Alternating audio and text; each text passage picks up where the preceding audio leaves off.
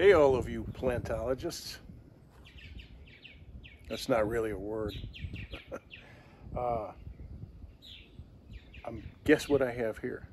I bet you saw the title and you know. I have a beautiful wisteria plant and uh, it got away from me really quick. So I am uh, working to retrieve it and grow it onto somewhat of a trellis. Um, did you know that I considered myself at one time, I don't know, 40, 35, 40 years ago to be sort of a botanist? Uh, you know these terms, uh, arborist, botanist, horticulturist, different levels of involvement with the, the, plant and tree world. An arborist is a tree surgeon. Did you know that? I guess if you get up in this tree like I do with a chainsaw, you're practicing as an arborist or a tree surgeon. Uh, anyway, lots of different uh, fields in in this form of life, and and I have a lot of respect for all of them. People who take this up because it's just it it is this is our natural world, right? So what's going on here, in case you want a little bit of information from me as a homeowner and what I've got, it's a type of wisteria, and I left a tag on it. I paid 24 bucks for this. Uh, okay, 25. Amethyst Falls. I guess that somebody created that variety. Uh, that's an Amethyst Falls wisteria, and I have something really cool to show you in a minute here made from a very thick wisteria vine by an artist, an artisan friend of mine from many years ago. Um, but uh, if you want to take a look and see, uh, this, like I said, it's 20, 25 bucks roughly. And what this tag is saying that you want to do, in case you want to go out and buy one of these kinds of wisterias, they like plenty of water for the first year uh, two times a week. Like they like to be spaced 10 feet apart, I guess. Cold hardiness is down to way down sub-zero, down to 29 Celsius, uh, 20 20 degrees Fahrenheit. fertilization every six to eight weeks. Check it out. And I just planted it with I amended the soil a little bit, and look how it took off. Now what it did was it wound itself around my fence and I unwound it and I really think that it will still flourish. Look at all those curls. Can you see all those curls in that vine? That's what I'm going to show you. Those as mature, larger limbs. I'm going to show you a piece of art made with that. So I'm going to keep wrapping this around this thing that I built with some scrap and some new wood.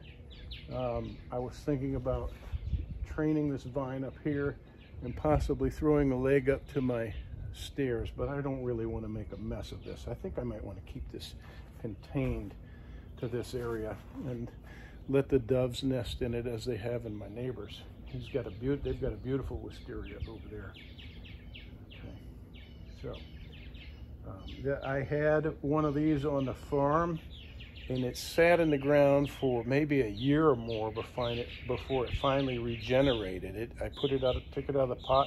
I think I amended the soil, but it just didn't do anything. Probably didn't have just the right nutrients or too much of one or the other. But uh, finally it took off and man, it took over this pine tree. And look at this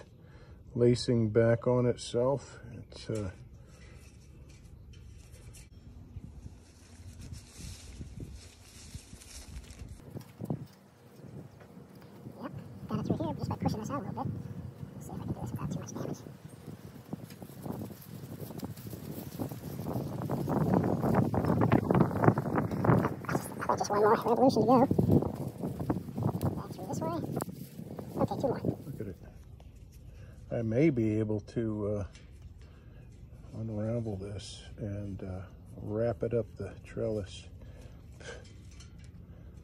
But who knows? I might have to go as far as removing a bolt. So let's take a look at that, that cool piece of art now. What are you doing now? Making some oatmeal. Oh, you're gonna feed me? Yeah, I kind of screwed up. That's up. a lot. I know. That's you, you expecting a bunch of a bunch of boys to come over? No, I just yeah. Okay, so this is what I was going to show you. It's dusty, and uh, it's uh, getting getting a little older now. Look at all that dust. I got to clean it. Uh, this was made. It's funny. I call this. I call this guy. I used to call this guy the old guy that works for me. You remember? Yep. And you know how old he was? Your age. My age. No way. Yep.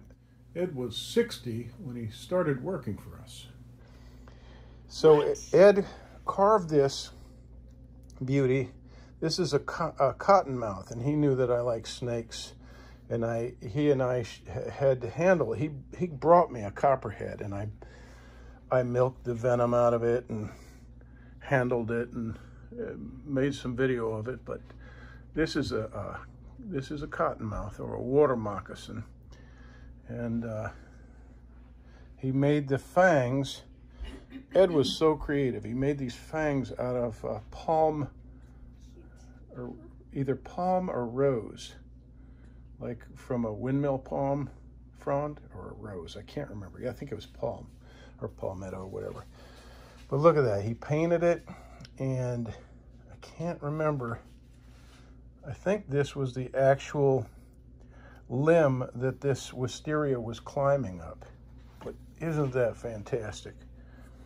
He glued a rubber foot onto it, and he, of course, 45'd a piece here so you have a handle and you have a nice walking cane.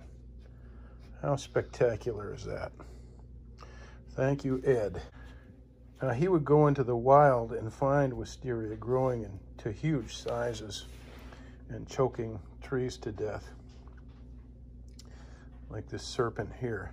So I just thought you guys would get a kick out of that. I know a lot of you don't like snakes, but don't kill snakes. They're part of our environment. I'm, I'm not going to tell you don't kill a venomous snake that's in your yard, but uh, don't be so so rash and don't be in such a rush to destroy good snakes. We really need our snakes because they control our rodent population. They keep things in balance is what they do.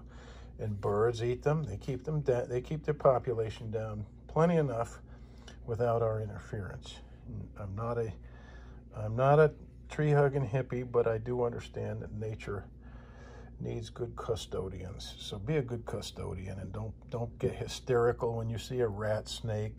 Uh, we have lots of eastern rats and we have black racers around here and people just flip out. You kill a hog nose, you're killing an endangered animal that needs your protection, not not to be brutalized and butchered. So, anyway, this this quickly devolved into a snake video. anyway, uh, I appreciate you. Thank you for watching. Be sure to like and subscribe to the channel, and we will talk soon.